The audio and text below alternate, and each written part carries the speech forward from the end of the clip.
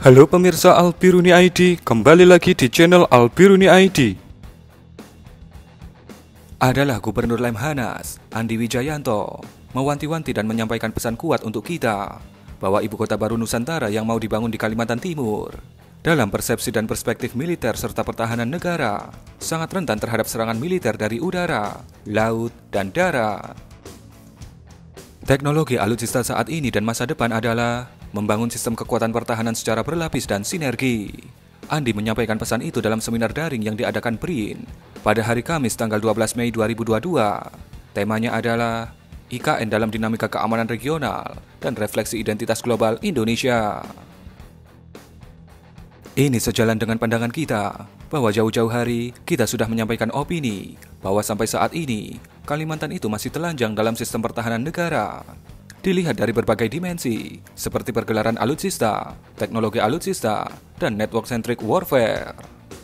Dan dalam konteks membangun IKN secara sistem dan sinergi, maka pembangunan kekuatan pertahanan harus menjadi satu formula kebersamaan atau bahkan mendahului. Sehingga ketika IKN operasional penuh, maka pada saat yang sama, kekuatan pertahanan IKN sudah ready for use. Sejauh ini, kekuatan militer di Kalimantan sangat jauh berbeda dengan Jawa yang menjadi pusat kekuatan militer Indonesia. Merujuk perang dahsyat Rusia-Ukraina, dengan diluncurkannya ribuan peluru kendali jarak sedang dan jarak jauh dengan presisi tepat sasaran, maka rentanitas ibu kota baru kita Nusantara sangat terbuka sekali. Perang Rusia-Ukraina menjadi mata kuliah maha penting bagi pemikir dan ahli strategi militer seluruh dunia, termasuk Indonesia.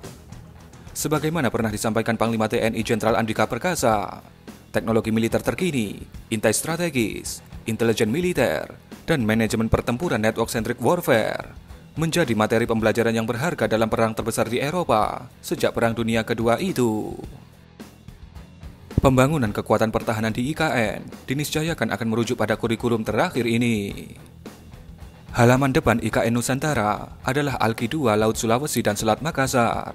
Perairan ini adalah perairan laut dalam dan terhubung langsung dengan Samudra Pasifik. Alki 2 adalah jalur pelayaran internasional, termasuk jalur kapal perang dan kapal selam. Khusus untuk kapal selam tonase besar, Alki 2 adalah jalur paling aman untuk bergerilya karena lautnya sangat dalam. Tidak usah heran kalau jalur ini menjadi jalur unggulan lintasan kapal selam Cina, Amerika, Australia, Jepang, dan lain-lain. Alki 2 dari arah utara ke selatan akan melewati Selat Lombok dan bertemu Samudra Hindia. Artinya, halaman depan IKN ini perlu mendapatkan perlindungan berlapis. Demikian juga dengan perbatasan darat ribuan kilometer dengan Malaysia di halaman belakang IKN. Atau di belakangnya lagi, ada Laut Cina Selatan atau LCS yang demam berkepanjangan. Bukan tidak mungkin peluru kendali jarak jauh Cina suatu saat bisa menghantam IKN dari lokasi peluncurannya di LCS jika terjadi pertempuran terbuka di kawasan itu dan melebar ke segala arah. Semua kemungkinan bisa terjadi. Maka, untuk mengantisipasinya, perlu perencanaan strategis dan komprehensif bagaimana membangun kekuatan militer IKN dengan pertahanan berlapis.